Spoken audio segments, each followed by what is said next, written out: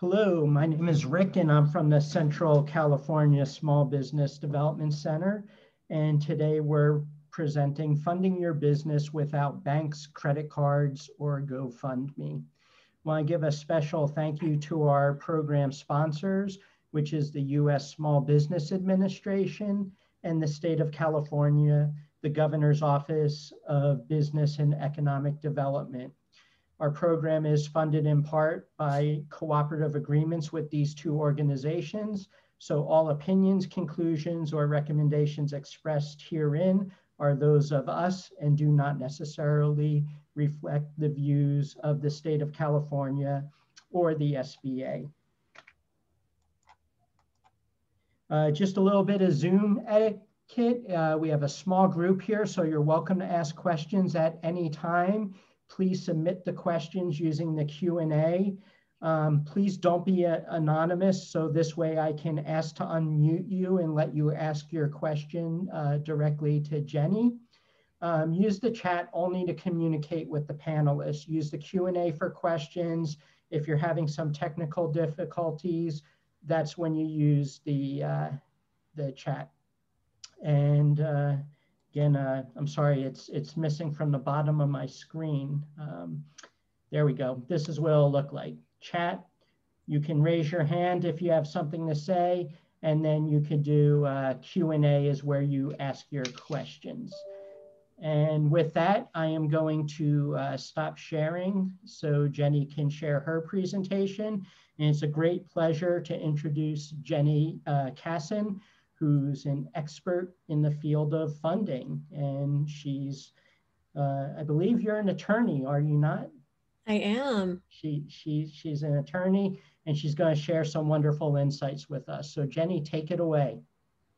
Thank you so much. Yeah, so um, I'll just share that I um, I've been working in the field of helping small businesses raise money since 2006 and I kind of fell into it. I didn't know I would be doing that kind of work when I got out of law school. When I first got out of law school, I was actually at a nonprofit organization.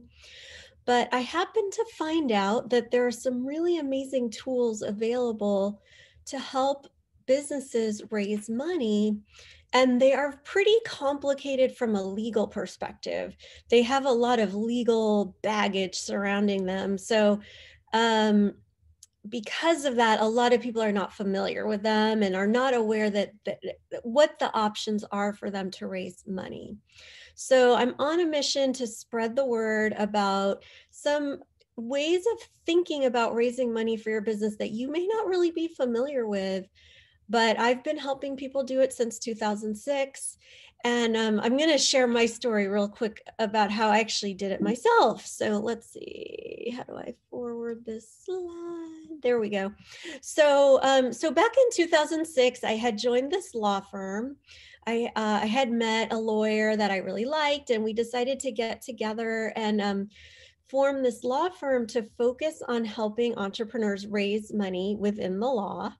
Um, and I was, you know, just working away at the law firm. And then in 2007, my business partner got the opportunity to go do a different job across the country. And he was like, I'm going to leave you to run this law firm. So all of a sudden, I had never been in a position like that. I had never thought of myself as someone who would run my own business. Um, and all of a sudden, I was a CEO of this company and I had employees these are some of my employees and um, we you know were doing okay but you know we were struggling a lot like every month it would be like ah are we going to make enough money to like make it through the month um so and I was this new CEO and I knew nothing about how to run a business. so I was just completely overwhelmed. Every month just seemed to like you know be this catch 22 where it was like oh we got to work really hard to get more business but we don't have quite enough business to cover all our expenses so we got to work harder but we can't really afford to hire the people we need to help us be successful. So um I realized that um, I had been helping my clients raise money for their businesses, and I was like, hmm, maybe we could raise money for our business so we could get a little cushion to cover these expenses that would make, you know, spend some money on some things that could make our business more successful. So, you know, we were in that hamster wheel, but then the turning point came when we finally realized we could raise money ourselves. So we did go ahead and raise money and we used a lot of the money for marketing materials and support staff, and it was really, really, really helpful. So, not only have I been helping entrepreneurs raise money for their businesses since 2006, I also have raised money for my own businesses and I've actually now done it many times. That was the first time we raised 150,000 and then we raised another 50,000 for that business, the law firm business. Um, and then I've had other businesses since then that I've raised money for. I think I've raised money like five times now. So, um, so I've learned uh, that sometimes it's really important to raise money. uh, so we have this thing called bootstrap trap. Um, so bootstrapping is when you, and by the way, feel free to jump in and ask a question at any time. I'm happy to be interrupted and, and interact if you have a question or comment at any time. Um, so bootstrapping is when you try to use your own resources to grow your business. And that could be maybe just the money that's coming in from your customers. It could be um, maybe a credit card. It could be um, maybe you mortgage your house, put a second mortgage on your house to try to cover the expenses of your business. It can also be trying to cut expenses and cut corners to try to save money because you can't afford to run your business the way you want to and the way that would be really healthy. And so we call this, the, it's often a trap to try to bootstrap because in many, many cases, there are things that you need to do in your business that cost money.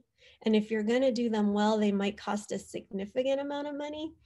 And if you don't get, and that you just cannot find that money from these other sources, you have to bring in some source of money that is going to allow you to have the cushion, to have the space, to hire good people, to grow your business in a healthy way, because otherwise you can be on that hamster wheel where your business is never quite achieving the success that it has the potential to achieve because you just can't afford those things that would make it a healthy business.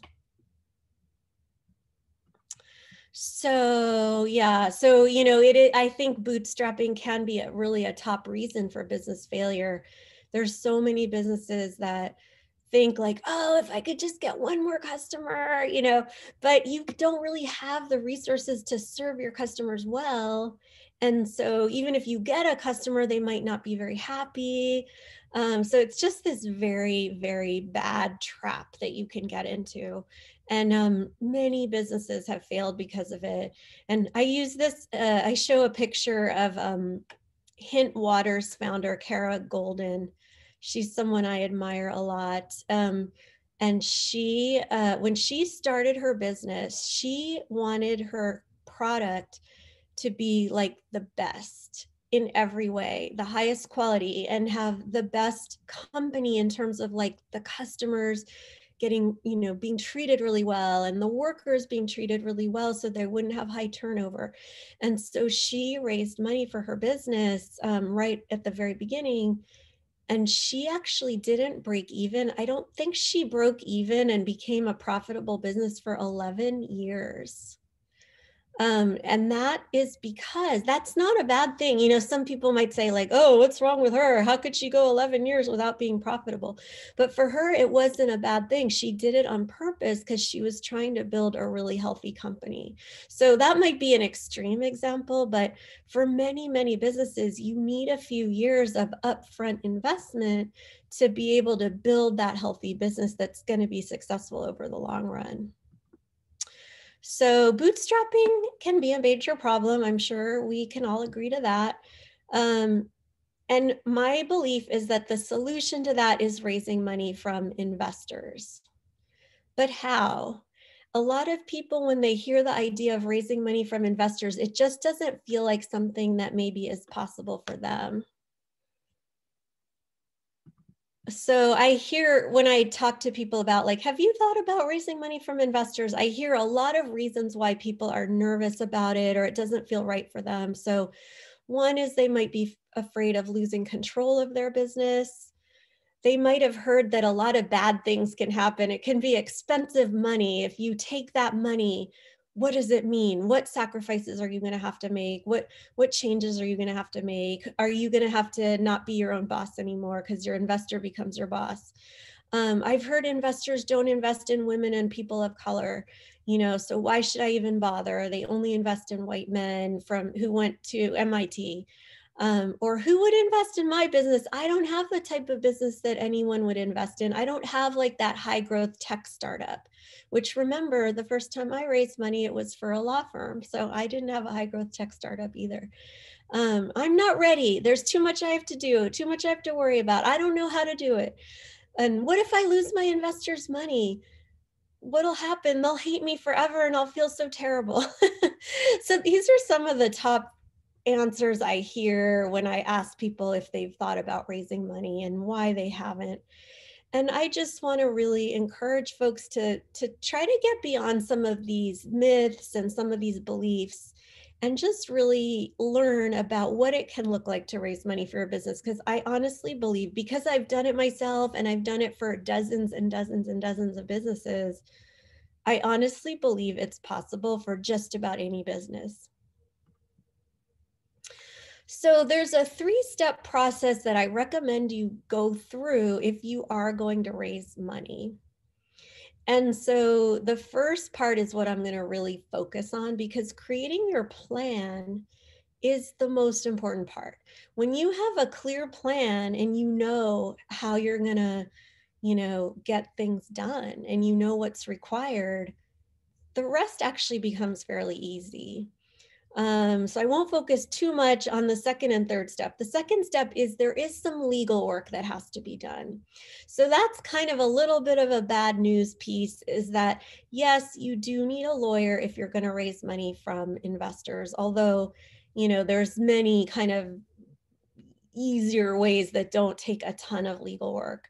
Um, but he, eh, when you're raising money from investors, it's a highly regulated activity. So once you've created your plan, you will need a lawyer to help you implement the plan. And then of course, once the lawyer has done the legal work, then you can go out and actually raise the money. But what we're gonna talk about right now is the plan, because when I tell you about creating your plan, for raising money, you'll get a better sense of like what I'm even talking about. What does this look like? So, um, so when it comes to raising money from investors, um, there's a lot of investors out there. Um, a lot of people have a certain image of what an investor is, but I want to encourage you to carefully choose between two possible paths and not assume that your your typical kind of stereotypical investor is the type of investor that you're necessarily going to be looking for. So choose a path. So i you know i didn't used to make a big huge distinction between this but over the years i've really come to feel like there's there really is a, a choice between two very distinct paths. Um and one of them I like a lot more than the other. I'm very biased because it's the path that I've always taken to raise money and my clients take. Um, so there's these two worlds of startup financing. So what are they? So one of those worlds we could call venture capital. And many people have heard of venture capital. Many people don't really know what it is. So I'm going to try to explain a little bit about what is that venture capital world. So um, venture capital is a type of investing in small businesses that um, is uh, has a very very cookie cutter approach and a very pre uh, preordained definition of what is success. And the way the venture capital path usually works is when you first start out, you start looking for investors that may be called angel investors. And the angel investors are part of the venture capital ecosystem. Most, um, if you look around, you'll notice there are these angel groups out there all over the country. There's angel groups. There's a National Association of Angel Investing Groups, and really all over the country they exist. And they're kind of designed to be the first step in your path towards raising venture capital. Venture capital, so the, the angel investors invest in your business with the expectation that you will then raise money from venture capital.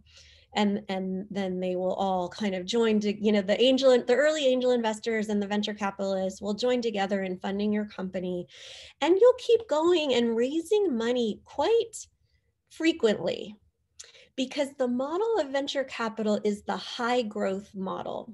So the the the definition of success in the venture capital world is that you start a company that it's usually going to be a high tech company because this can't really it's not even possible to do this really outside of high tech. You have to grow exponentially very quickly. You have to be able to take over a large market very, very quickly because venture capital success happens when you are able to take over such a large chunk of the market. You know, you can think about examples like Uber, Lyft, WeWork, Facebook, um, you know, businesses that just grew fast at any cost. and they were willing to do just about everything to grow and they were their growth, their rapid growth was fueled by venture capital. Now, sadly, when you research how do I fund my business, a lot of what you find on the internet is a stuff about venture capital. And so you kind of get this idea of like, oh, that's how you fund a business. That's how you raise money from investors. But you have to understand only 0.1% of companies actually raise money from venture capital. So unless you're on that very high growth path where you're looking to dominate a market and then, you know, probably sell your business to another larger business or do an IPO, like they would like to see you do that within five to seven years. If that's you, then venture capital could be the right path. But if that's not you, which if you're 99.9% of businesses, that's not you, just forget about the venture capital pathway and ecosystem because it's just not going to be a good fit for you. You're going to waste a lot of time if you try to pursue that type of funding. So I have this other type of uh, pathway slash ecosystem that I love that I've been working with since you know I started doing this work, and I I don't really I call it sometimes I call it we capital because it's like we see instead of VC.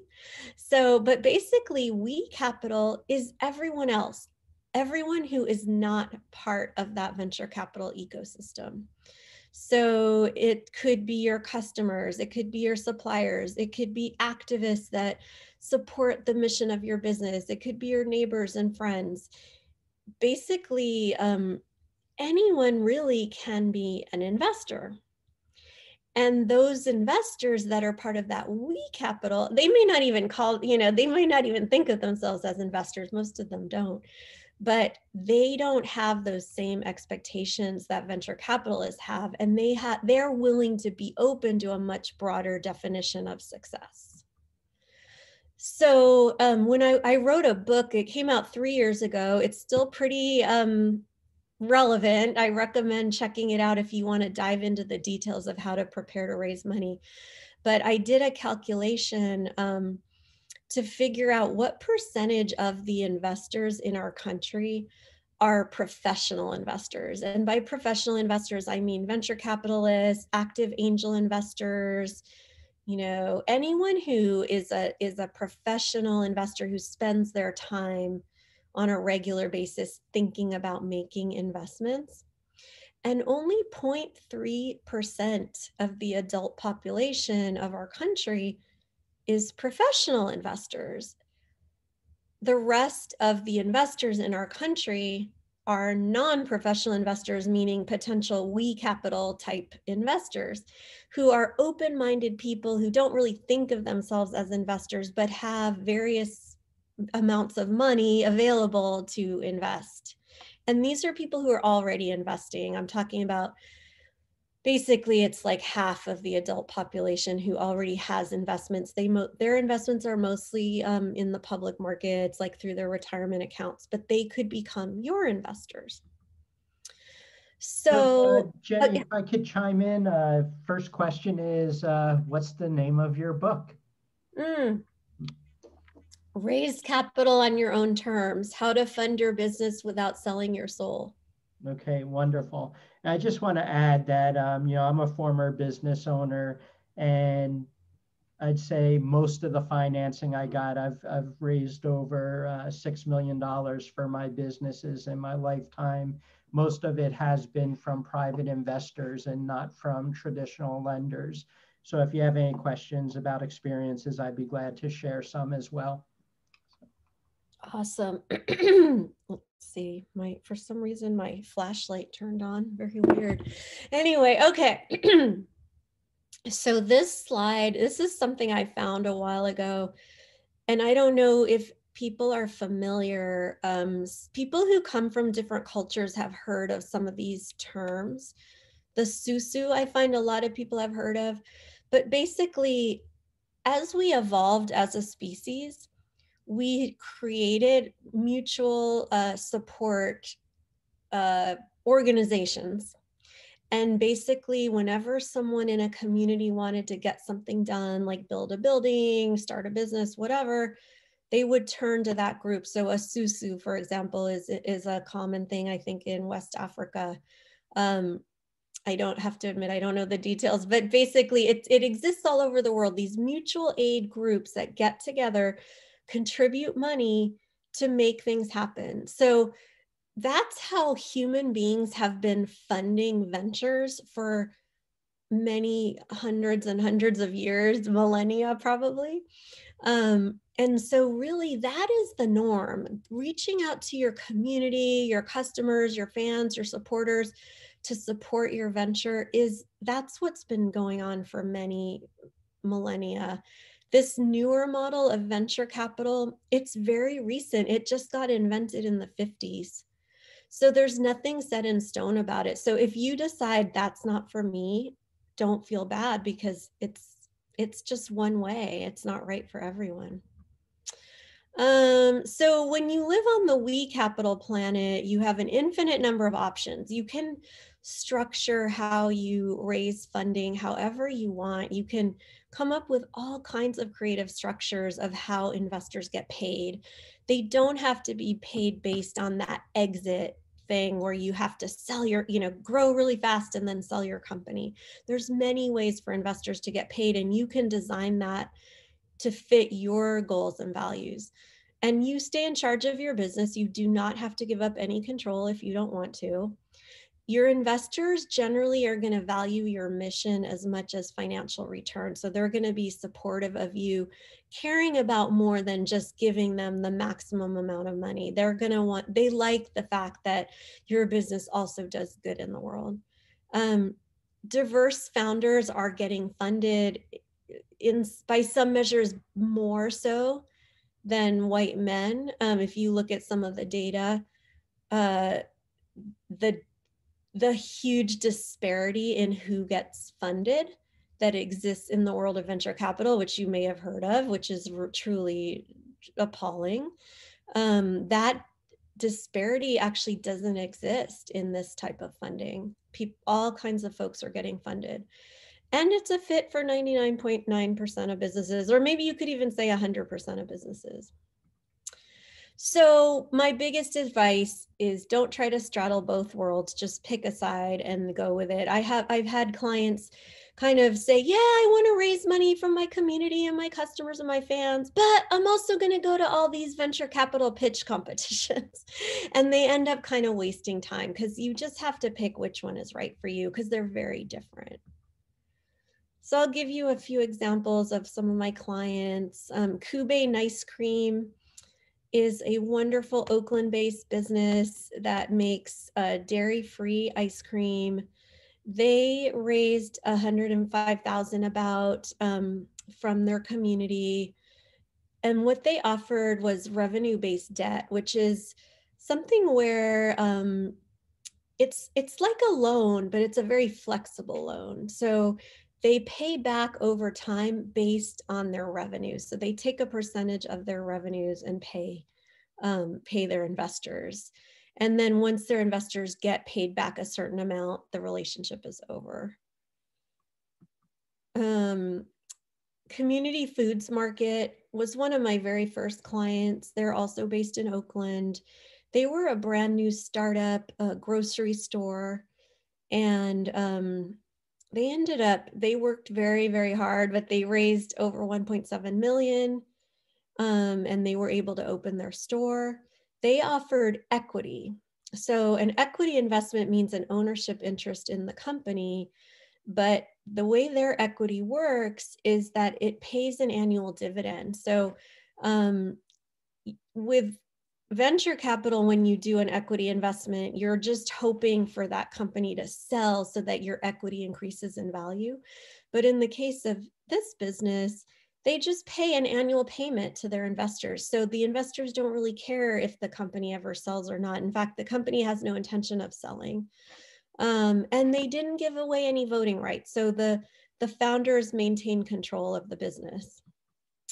Uh, Recompose is a business. They've actually now raised, I think they've actually raised now 7 million. And I love this example. This is a woman based in Seattle who invented a new way of handling death care for humans. Um, it's a very beautiful, eco friendly, family friendly process. And um, she, when she first started, her whole idea wasn't even legal in any state. But she was able to raise, I think she raised 700,000 in her first round and she used that to hire a lobbyist. So now what she's doing is now legal in Washington state. And um, that she's gone on to raise about 7 million and they're actually opening their first facilities now. And again, it's non-voting preferred stock, no um, and she didn't have to give up any control. So those are just a few examples. I can always talk about others. Um, but the next step in the process is, um, sorry, um, is choosing what you want to offer to your investors. You know, like I said, you want to really customize it to your particular situation. A lot of people try to use off the shelf um, documents. And I don't recommend that because um, you want to, the relationship with your investors is governed by these documents and it, it, it can be a very long term relationship. So you want to make sure it's a healthy relationship that really reflects your goals and values for the business. So, so Jenny, we have another question here, and I think this is a good time to chime in with this one because I think it, it falls back to the previous slide and what you're talking about now when you have investors, do you pay them a percentage each month? Uh, you know, you can decide. That's a good question for right now because we're talking about right now. You decide what you want to offer. So, mm-hmm. most of my clients, they'll we design the offering together. So, usually, what we end up designing is something that has an annual payment, not monthly because monthly can be a hassle. um, every now and then I'll have a client who wants to make a quarterly payment, but um, that's completely up to you. Okay, and then in in the case of you know, and uh, you obviously don't have to go into details, but on that one that's revenue based, um, that's usually quarterly, correct, or is that monthly? Most of my clients do annually. Oh, okay. Mm-hmm it's up to you to decide that. And that's obviously easier because you have to close out your books to figure out like what did we actually make, you know. So yeah, it's um annually is usually the best choice. You know, some people worry that investors might not like that because it's not very frequent. But then again, I mean, there's a lot of investments where you don't see a dime for years. So just making an annual payment to investors that can make them quite happy. Thank you.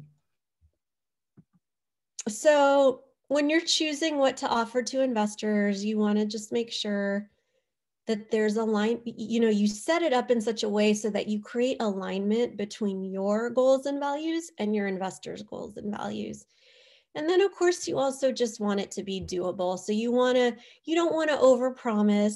Um, you want to offer something to investors that seems realistic given your projections. Now, does that mean that you're always going to be able to meet your goals to your with your investors? No. I mean, it's so common that our projections ends up being a little bit overinflated from reality but that's fine because the way you set it up you know it just would slow it down a little bit or you know take a little bit longer for the investors to start getting paid but they they have a clear path to getting paid and they know that you're working hard to make sure you're doing your best so that they will get paid. It's completely fine if you don't you know end up meeting the expectations because the way you know investments the way they generally work they're not guarantees. They're um they're they're hopeful uh, agreements but it you know they're it, it, depending on how it's structured you know if you're not able to make a payment it's okay you just you know keep working until you can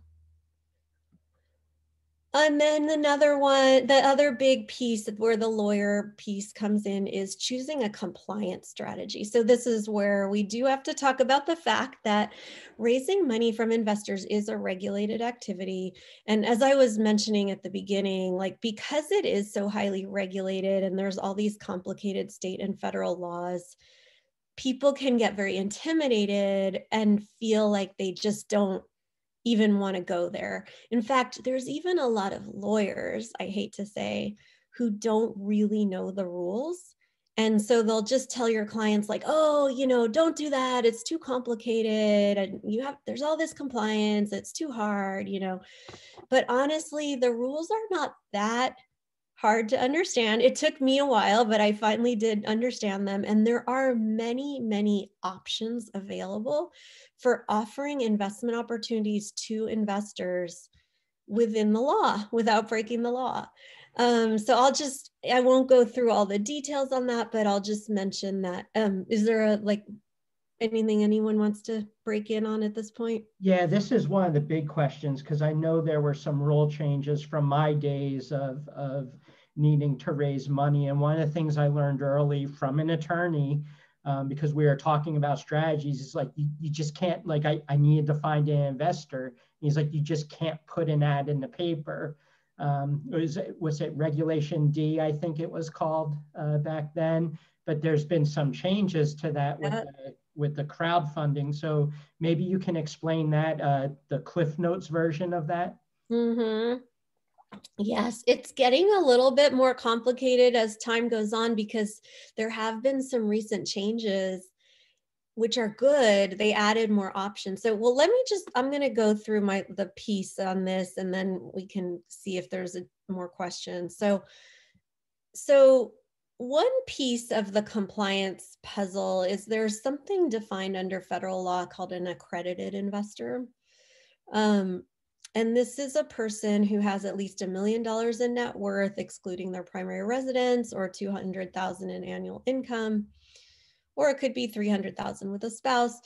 But basically, it's a it's probably it's somewhere around maybe seven percent of the population um, of the U.S. who meet this this definition. And under the law, someone who's an accredited investor it's a little bit easier to make an offering of an investment opportunity to them because many of the rules give you know provide exemptions or you know say oh as long as you're only talking to accredited investors you don't have to do xyz filing or whatever so some lawyers will tell you, oh, you can't raise money except from accredited investors. And that is absolutely not true. There's many, many ways to raise money from unaccredited investors. But it is good to be familiar with the concept because there's different rules that have different um, requirements related to accredited and unaccredited investors. So that's one concept. Um, but basically there there's almost an infinite number of possibilities but what you need to decide is do you want to publicly advertise the fact that you're raising money? So you just alluded to this. Uh, can you put an ad in the paper? Um, sometimes you can, sometimes you can't. It just depends which compliance strategy you're using. So I love Ben and Jerry's. I, I don't know if people know, but back in 1984, when they were first starting out, they publicly raised money from everyone in the state of Vermont. They publicly advertised, they had events, they put it in the newspaper, they told everyone. And there was a legal compliance strategy that they were able to use to do that, um, which is still available today. That it, it's a it was a state registration basically. Um, so they only raised money from Vermont residents. They were very successful and you know became a very success, successful company over the years. Um, but so one question you'll want to ask yourself, do I want to be able to publicly advertise the fact that I'm raising money? Because if I don't, then it is a little harder to reach investors. You have to have one-on-one conversations. You have to like make, you know, one-on-one phone calls or emails. You can't be going to public events and announcing, hey, I'm raising money. So that's, I love being able to publicly advertise. In fact, I'm currently raising money for something right now, and I'm doing it in a way that allows me to publicly advertise. So I can tell you right now, hey, I have an investment opportunity in this fund called Opportunity Main Street. If you'd like to hear more about it, give me a call. That was legal, what I just did, because of the choice I made about the fundraising strategy I'm using. Um, another one is do you want to limit yourself only to accredited investors or do you want to be able to include everybody? Um, that's another choice that needs to be made that will affect your compliance strategy that you choose. Um, obviously, it's great when you can include everybody. And um, there's many, many ways to do that. So it's not true if someone tells you you can't. The only thing to be aware of is that sometimes you may be limited in the number of unaccredited investors. So for example, in California, and these are state by state things, um, but in California, there's a way to raise money that's fairly easy from a compliance perspective that allows you to raise from an unlimited number of accredited investors and up to 35 unaccredited investors. So that's just one example of an option that's available. And then how much? Um, the good news is the numbers have been going up. They use there's this one way of raising money that allows you to include both accredited and unaccredited investors that used to be capped at a million. They raised the cap to 5 million and now they just recently raised it again to 10 million. Um, so, but generally speaking, the more you're raising, potentially the fewer options you'll have in terms of compliance strategy. Um, they actually, with crowdfunding, so the, the crowdfunding law um, passed in 2012, right? Yeah, but it didn't go into effect until 2016. And under that law, you were allowed to raise up to a million but then they increased it to 1,070,000 for inflation. And then more recently, they've actually just increased it to 5 million. So these numbers are going up. And then what states? So um, many of the rules governing compliance are state level rules. So if you want to be able to raise money in multiple states, there could be more complication, more compliance things you have to deal with. Whereas if you want to just raise money in one state or two states, it could be a little bit easier. Although I will say there are some federal rules that preempt state law. So the federal crowdfunding rules actually preempt state law. So one of the beautiful things about the new crowdfunding law, relatively new, is that you can raise in all 50 states without having to do state by state compliance so yeah and you know this this just shows um, i submitted the petition that actually led to the passage of the jobs act which is what made federal crowdfunding legal. So i'm super proud of that. Um, let's see. That's me that's the back of my head watching president obama sign the jobs act and who's getting funded? We're, as I said before, we are seeing women and people of color getting funded actually at a higher rate than white men with crowdfunding. So that's really good news. I actually co-founded an investment crowdfunding platform called Crowdfund Main Street, which you can check out. We do have an offering up there right now you might want to check out. Um, let's see. Are there any other questions about the compliance piece?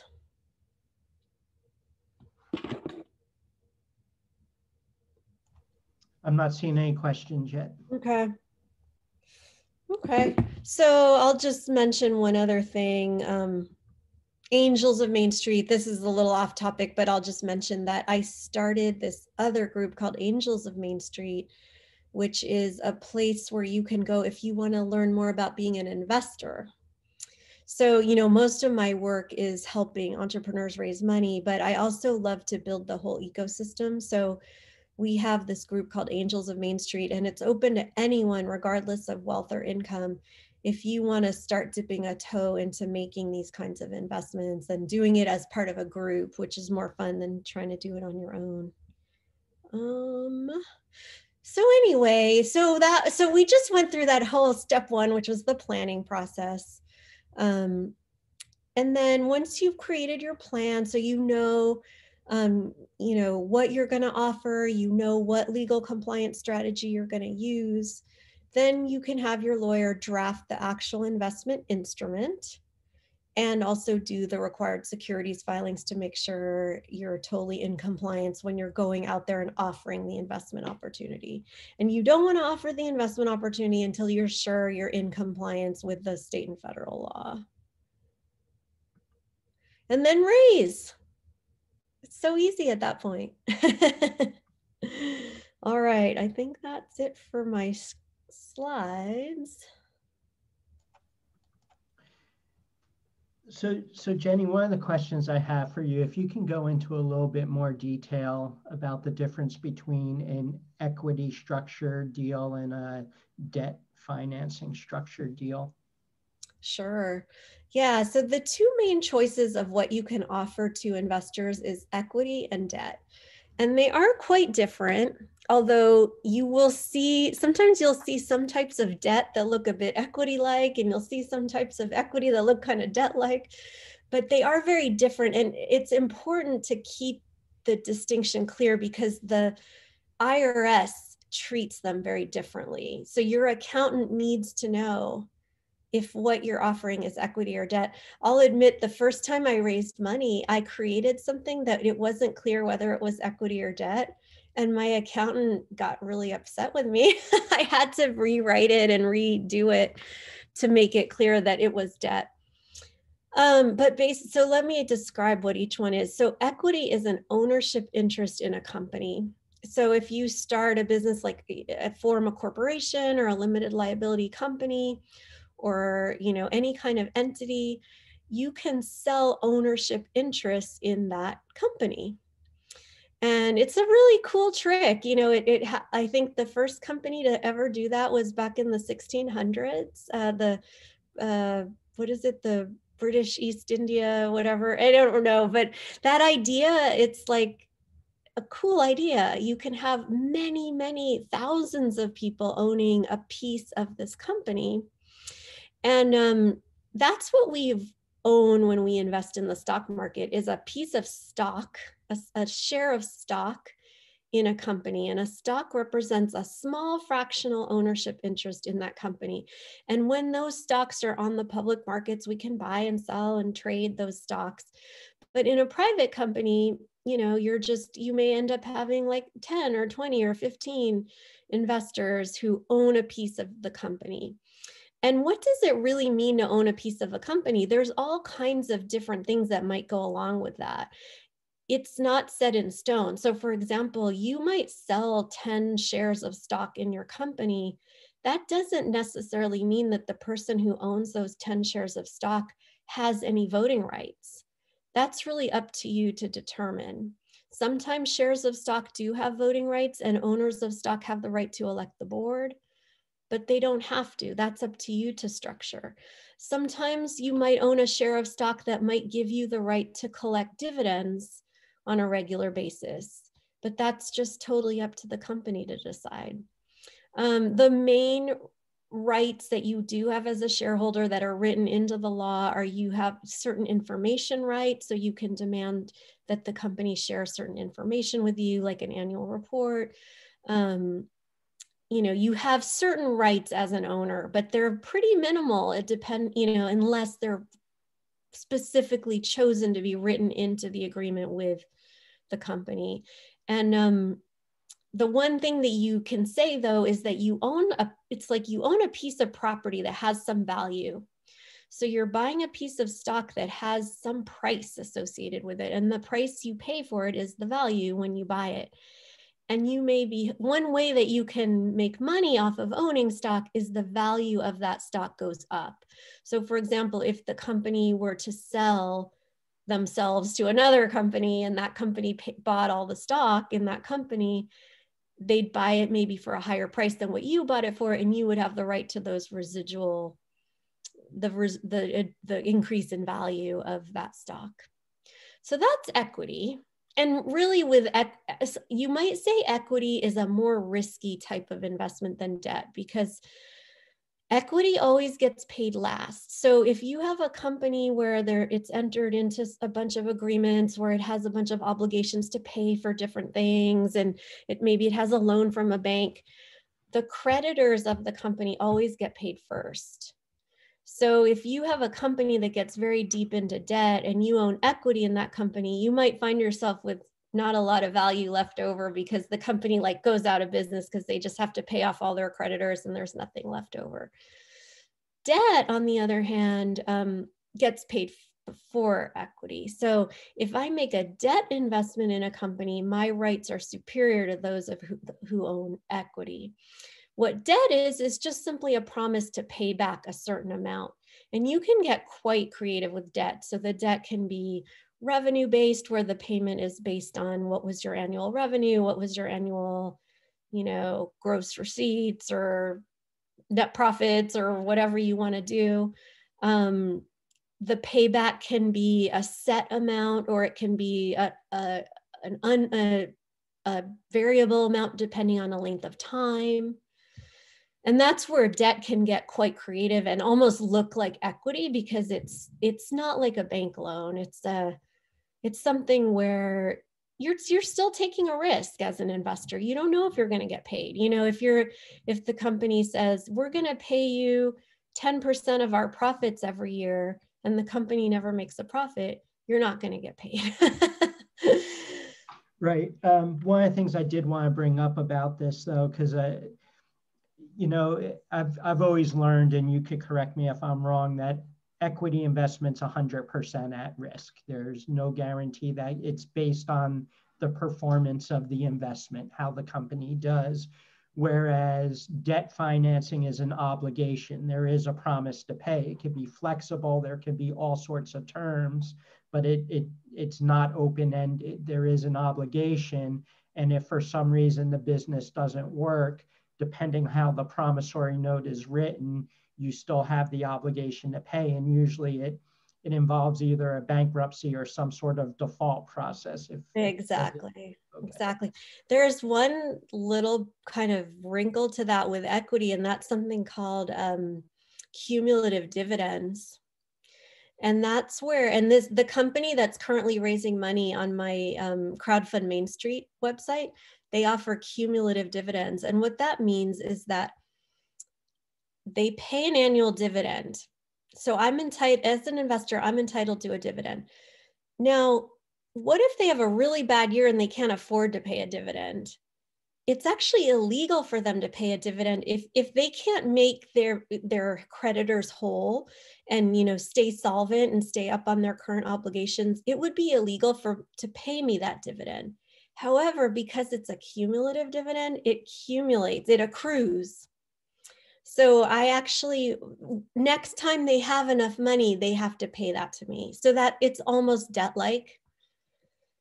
uh, but still, the, the big difference is that you cannot really be in default because, like you said, if you know the obligation is only to the extent that it's possible to make the payment without putting the company at risk with respect to its creditors. Okay, and we're still open to questions, but I'm gonna I'm gonna ask one more. Um, finding great investors, and I'm, I'm prepared to share my story on, on how I found investors.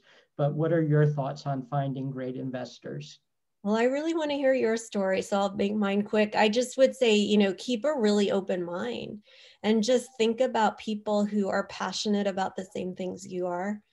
Often it's going to be your customers. The the same pool of people who would be your customers could be your could end up being your investors. But yeah let's hear your story. Okay, so so my business was a bagel store. Ah! a wholesale bagel store and uh, I love bagels I got a, approved for a $50,000 loan, um, wrote my business plan and was all ready to go. Went to close on my loan, actually already started buying some equipment and the banker wouldn't close on my loan. It was a different banker. They fired the banker that approved my loan. And he outright told me we fired the banker because we didn't think this was a good deal. I'm showing him my approval letter. And he's like, well, uh, you're no longer approved. So I had to find money quick. So there, there's a saying we, we use at SBDC called FFF, which is friends, family, and fools. So I went to every family member I had that I knew might have $50,000, got turned down, went to every friend I know, and I, I was young at the time, so I didn't have many friends with $50,000, and they said no. So I found a fool. It was, uh, turns out was my ex-wife's boss. And he was just a, a wealthy businessman. I knew he was a multimillionaire and I asked him if he'd be interested in looking at my business plan. I gave him my business plan at 11 o'clock in the morning. At one o'clock in the afternoon, I had a, a $50,000 check. Yeah, I love it. But, but, you know, it was kind of what you said earlier is um, I, I didn't have a good attorney like Jenny and uh, didn't understand the difference between, and it was an equity deal. So he bought 15% of my company for $50,000 but he made me pay him $2,000 a month no matter what. And wow. I, didn't, I didn't understand that. I didn't know I could have just not paid that if I wanted. and uh, got my first tax return. And uh, I remember I, I, I, had to use his accountant, and his accountant said, You owe $7,000 in taxes. And I'm like, Well, I have no money in my bank. How can I owe $7,000 in taxes? And he goes, You made $24,000 in profit. And I'm like, if I made $24,000 in profit, how come it's not in the bank? And it wasn't until I did some reading that I found out that that money I was paying him, I considered that an expense, a business expense. Right. And but was, it came out of profit. Right. And I was just paying him 100% of my profits. And, oh my God and it was a lesson learned you know I, I, was i was a young businessman and and and i was shocked and um, so i eventually bought him out and it was funny you know I, looking back i paid this investor on his $50000 he made $123000 oh good for him. and, who was the fool? Yeah exactly but you know from another standpoint what i tell people is you know if if i knew what i know now you know, my business did make, you know, $24,000 a profit.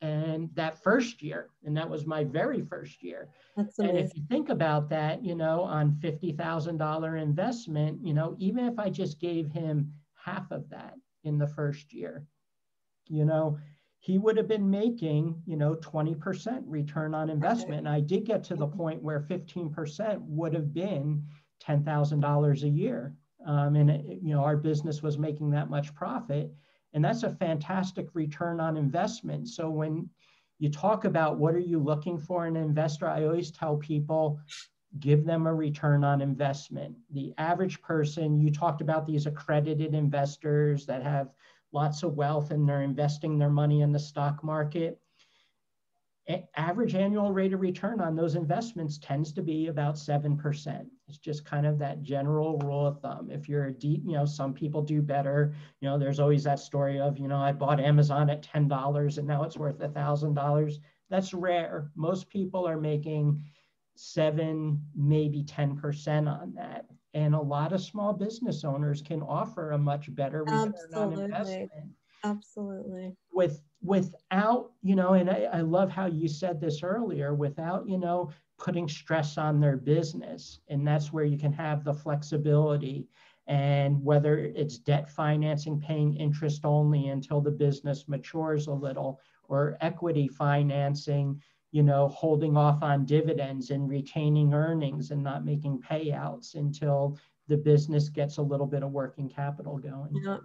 And you know, you do bring up an important point that debt and equity are treated differently from a tax perspective. So if you raise money in the form of debt, it tends to be better for you from a tax perspective because your the interest payments are tax deductible, whereas payouts from equity generally are treated as profit, so it's not deductible. So yeah, that's something to be sure you have a good uh, tax advisor on that.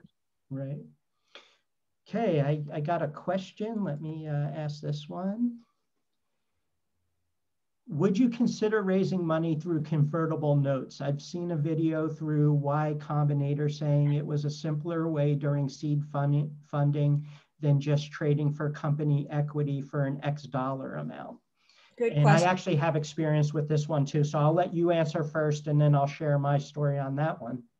Yes, convertible notes can be a good tool but you just need to really be aware of what when they are a good tool and when they don't make sense. So the purpose for a convertible note, and by the way, you will hear of something called a safe, which is kind of a variation on a convertible note as well.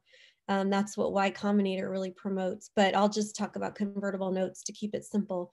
Um, the reason you would use a convertible note is because you would like to sell equity in your company but you're just not quite ready.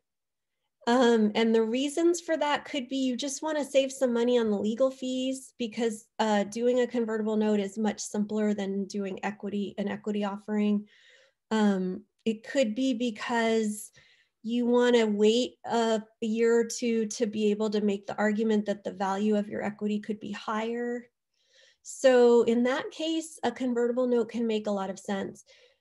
Sometimes so the problem that happens is people will use a convertible note without any real plan for what's going to happen. Will it ever convert and how will it convert and what will make it convert?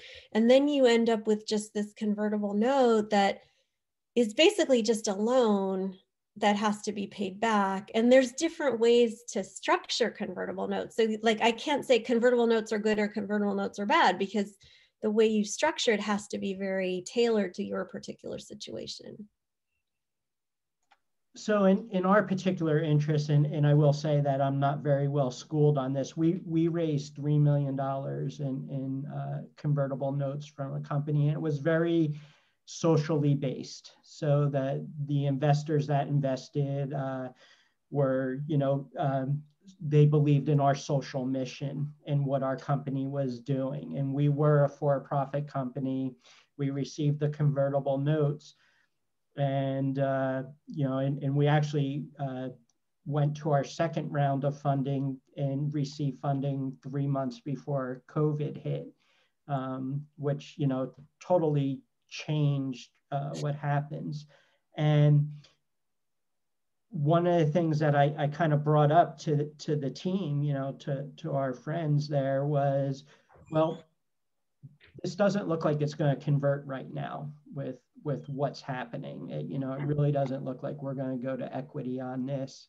So what are the terms? And I felt it wasn't written very well. So in your experience, have, have you seen notes where it's very clear that, okay, if, if this doesn't convert to equity, this is what the debt terms are going to be. Yeah, I mean, there's different ways to do it. You could just say, uh, I mean, one of the things is the length of the term, you know, like, because mm-hmm. some pe- people often set the term really short, like, uh, you know, um, a year and a half or two years. And that's a short time to have that conversion happen because that goes by really fast and you have to get your equity raise all in place to be able to make it convert. Because what usually causes the conversion is you raise a certain amount in equity.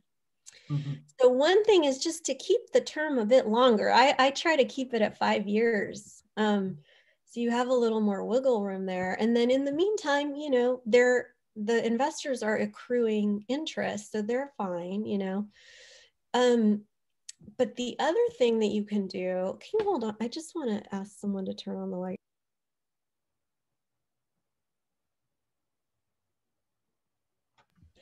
I got an opportunity to get the light turned on.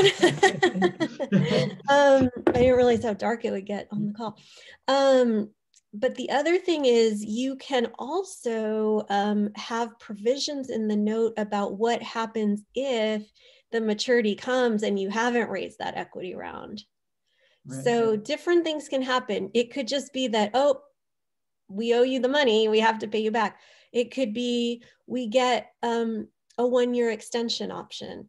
It could be that the note automatically converts into common stock at a pre decided valuation. Right. So, so we had a follow-up question about what a convertible note is. So I'm going to take a stab at this, and then Jenny's going to correct me as she she is apt to do very well. Um, so a convertible note is basically. Uh, so let's use my three million dollar example. We raised three million dollars. We're hoping to to get a, a group of equity investors. And let's just say to make this work totally, we're going to raise another $3 million. And once we raise that $3 million, what we do is we create a valuation of the company. And the first people that raised the 3 million that we had the convertible note with, basically once the valuation is in, it goes from being a loan to they now own shares of the company. And it could be something as basic as now it's a $6 million company. They own 50% of shares in the company, or the company might, some cases, the company gains in value because, you know, in, in our particular case, we got a big contract with a, a national um, clothing manufacturer. And once we close, you know, just having that contract uh, with this company, it made us look like, hey, we're going someplace. So they might say, okay, the company's valued at 10 million. So then that 3 million would be worth um, 30% of that. So that's I, how it would work. And often what happens is those people who came in early as a bonus for coming in early, they also get some discount on the price. So often it's like a 20% discount. Um, or another thing that you'll sometimes see is a valuation cap where they can invest at a no more, like let's say they invest 3 million they're you know the convertible note holders invest 3 million and you say okay once we raise another 3 million in equity you're going to convert. If we raise the 3 million in equity at any more than a 20 million dollar valuation you get the valuation cap of 20 million so that keeps them from being they get a bigger chunk of equity because of that right but at the same point, if we don't raise that extra money, then it, it it's now a loan. And like Jenny talked about, interest is accruing at it. And eventually you have to start making payments on that loan. Now, you know, in all the reading I've done on this, which I did a lot of reading on it, is most people that invest in these convertible notes are pretty much recognizing that there's a good chance they'll never get paid back. If even if it does convert to a an obligation and, and a debt deal there's just not going to be enough money to pay it back. Yeah it's definitely high risk you know but i mean well that's why Y Combinator invented this thing called the safe because the the convertible note is a loan so you do owe money. So like when the when the loan matures if it does if it hasn't converted at that time you have to pay it back generally speaking depending on what's written in the contract. Um, and that can be a very challenging time for the entrepreneur because they probably can't pay it back which means they have to go and beg their investors can we just extend for a year? You know give me one more year to raise the equity. But Y Combinator invented this thing called a SAFE, which stands for Simple Agreement for Future Equity, which is almost identical to a convertible note, except it's not a note. All it is is a contract that gives the investor the right to buy equity in the future if the company does raise an equity round. So that completely, that is a really high risk investment for the investor. But it's right, happening because, a lot in Silicon Valley because they're making big bets and they're willing to take big bets. Right. And and like you talked about earlier, usually that comes at a premium, which is they get a much better discount on on the valuation, correct?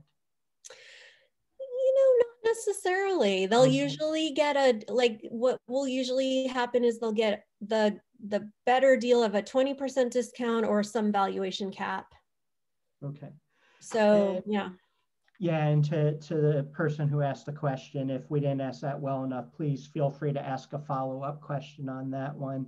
I will say for, for most of the smaller businesses, you know, and I'm going to kind of use under a million dollars of needing funding for your business. A convertible note is probably less of an option than a general equity investment with a small group in having something like that. Um, one of the stories that, um, you know, I, I, used to live in Alaska of, of, all the places I lived, very similar to Ben and Jerry's is Alaskan Brewing Company and the story of how they raised money. And they basically had a community meeting and they offered people the chance to in, invest in their brewing company. And I, I think, uh, you know, a, good portion of Juneau invested, Juneau, Alaska invested in Alaskan Brewing Company. And It was kind of interesting because uh, they went through a second stage where a lot of people just weren't happy with it and just wrote it off. And they, they did a second investment and people sold their shares to kind of collect their losses. And then that's when things just broke open and Alaskan Brewing Company just became huge. Wow. I, I, used to live next door to Geoff and Marcy Larson, and they, and they're just some of the greatest people. It's just such a fantastic story. Yeah, it's just it's so rewarding to invest directly in a business. When you think mm-hmm. about where your money is invested, if you have a retirement account, you're not investing in any productive activity in the economy. You're just buying stock from someone else who owned it before you. But when you can invest in an actual company, you're contributing to their success, their, you know, growing jobs and wealth and and then often it's fun too because you get to be you know you get special perks you get to be uh, invited to special events. And so yeah i just i highly recommend you know even if you just invest a small amount like trying it out. And the best place to start with that is use it is through investment crowdfunding because that's like the easiest way to find those opportunities. Right. And we're going to have to wrap this up soon, but I just want to ask uh, in, in kind of a leading question for you because um, you talked about um, not giving up control. And, and I understand a lot of businesses don't want to give up control and want to run the businesses they, the way they do. But what are the limits to not giving up control? You know, I take that really far. I I I feel really strongly. I love my clients. I think they're really smart. I don't want them to have to give up control. Actually, my husband uh, worked for a company that um, took on some VC investors, and the VC investors came in with all their brilliance and all their wonderful insights. And basically, within a few months, the company was out of business so i'm just i'm not a big believer that some some investor is going to come along and like be this white knight who's going to like know all the answers that you don't know. I i have a lot of faith in entrepreneurs that they do know a lot and they can get help too. There's no i mean i want you to get help. That's why i want you to raise money so you can hire the best you know hire me hire other consultants who can be your best best best advisors and you can fill in the gaps where you aren't as knowledgeable or experienced but i'm not a huge fan of giving investors control. I just I, i've heard too many horror stories of investors who make who are don't know what they're doing and think they're super smart and destroy right. the company. And in, in my commentary on that and i'm the same way. It's like you know i, I want to run my businesses the way I want to run my businesses. And even though I have a partner, you know, I want to be the majority partner and do things those way, uh, that way. But uh, there is the, the term fiduciary responsibility, which is to treat your company like a company. And you, you have to think of what's in the best interest of the company, which may not always be in the best interest of yourself. So. True. Yes. And you know, I I don't work with any business. I work with business owners who are highly um mission driven, who are highly have high integrity. They want to do what's right, you know, and I use my gut instinct to tell me when I when someone is that, you know. So but I, you know, I honestly believe most entrepreneurs are out to not just make money, but do good in the world, build wealth, build jobs, build something beautiful in the world. And and they should be able to do that unconstrained. Of course the law does you know constrain you and you just want to stay within the law. And yeah obviously think of your investors as major stakeholders that mm-hmm. need to be well taken care of and keeping in kept in the loop. I have some clients that aren't so good about communicating with their investors and we don't like to see that. You want to keep them in the loop and make sure they know what's going on. Okay well, Jenny, thanks so much for uh, joining us today. Uh, Magali, uh, really quick, if you could put into the chat the link to register for counseling at the Small Business Development Center.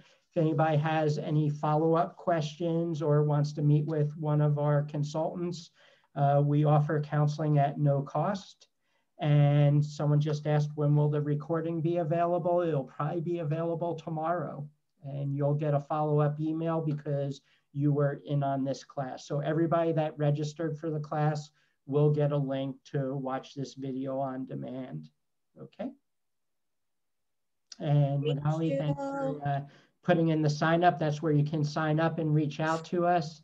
Thank you so much, Jenny, and look forward to the next class we do. Same. Thank you. Bye. Bye.